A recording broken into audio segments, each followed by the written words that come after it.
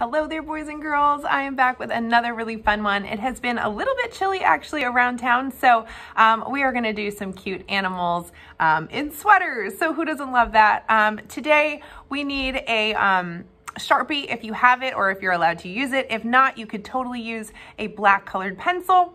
Um, and then you could really use whatever you want to to um, color in the sweater. You could use uh, markers if you wanted to. You could certainly use colored pencil or crayon. Um, or you could even paint them. Totally up to you guys. So let's get started. All right, guys. So we have our paper portrait or hot dog layout, right? And we are going to do a cute little bear, all right? So we're gonna start with the top of his little head, just like that slightly little curved line, right? And then we'll do some cute little upside down U ears, just like that. And then we'll go ahead and give him his big face. Right? And then let's go ahead and give him a little curved body lines. There we go. We want a nice section of sweater there, right? But first, let's give him a little bit of personality, okay? We're going to give him a little, some cute eyes. So let's just do a circle. Okay, maybe that one was a little small. But here's the trick. We're going to give him a cute little white reflection in his eye, okay? So to do that, I'm going to do like a little kind of crescent moon shape or a backwards C. And you have to make it kind of big because then when you kind of fill in around it, it's left with that little kind of white area.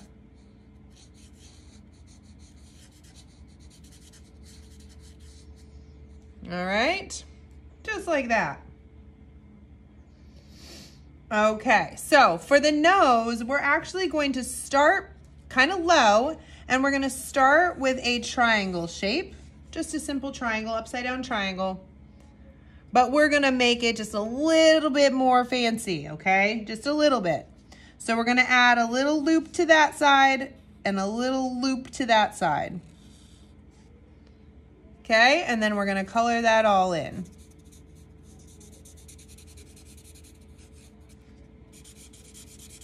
Just like that. And then let's do the classic little J and backwards J for his little mouth. How cute is that? Okay, now we're gonna do a little bit of a tricky part. I know you guys can do it though.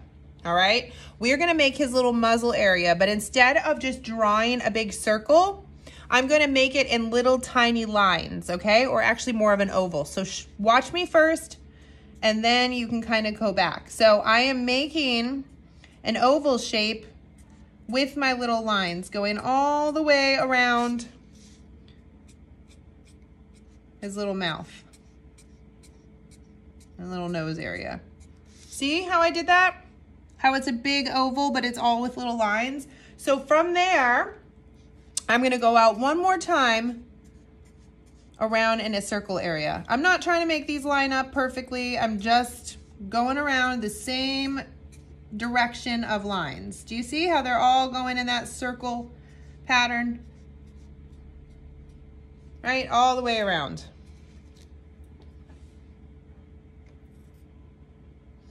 I'm also going to do that same circle pattern around the eyes. And it's okay if where it kind of meets. Going all the way around the eyes, just like that. And I'm going to do that one twice too. Giving all their little hair marks, right? All the little tiny fur hair marks, just like that. Okay. Next, we're gonna do a similar thing on the ears. I'm gonna go around in that kind of pattern going around the ear, right? I'm not just going in straight lines. I'm making my little lines go all the way out around the ear in a curve. And I did that twice. So it's almost like a, um, like a rainbow of little lines. Rainbow and a little rainbow inside, right?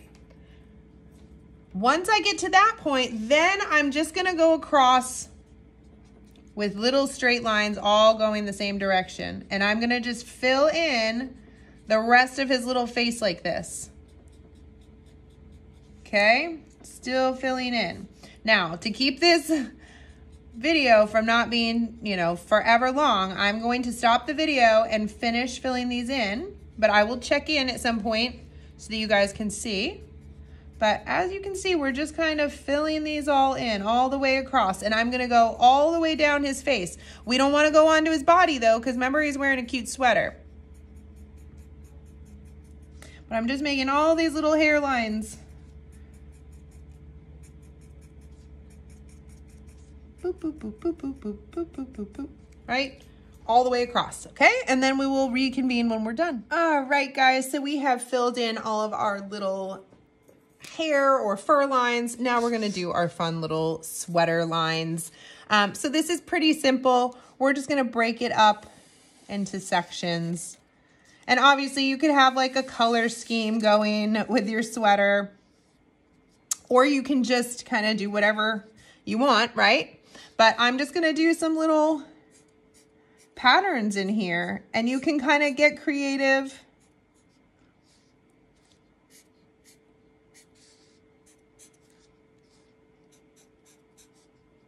I'm going to do some little lines like I'm doing right there. Um, maybe some shapes. But you can really fill these however you want. It's your sweater, right? But the idea is that the polar bear will obviously stay white and we can fill this in kind of however we'd like to.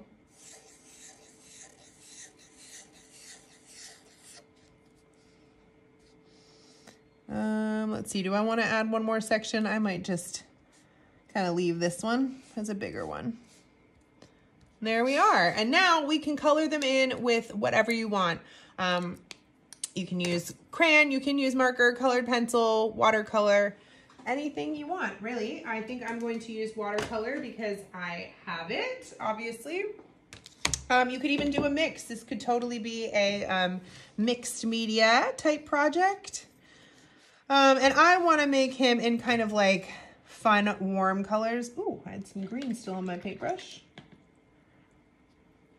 So I'm going to do some kind of oranges and kind of neutral tones. It's just kind of a fun, cute one, right?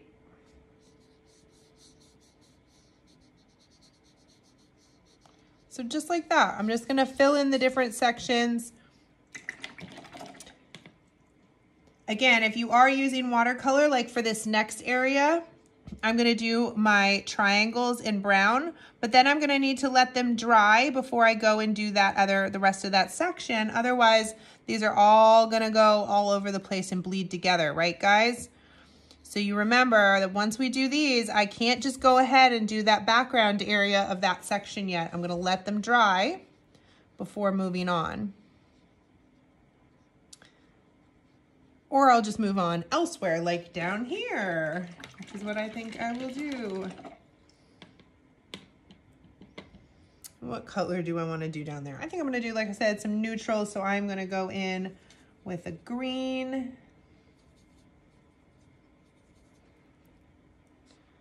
and do this bottom section again while that middle section around my triangles are drying. I can just go ahead and work in this area. All right, I'm gonna go ahead and stop it and I will come back and show you when it's all done. All right, you guys, here is my bear all done. Now, obviously, if you wanted to go that extra step and cut him out and maybe mount him on a light blue piece of paper, that would be pretty awesome. Or you could even paint a little bit in the background, or you can just leave him as is. Um, but I really hope you enjoyed this one. I'll see you around.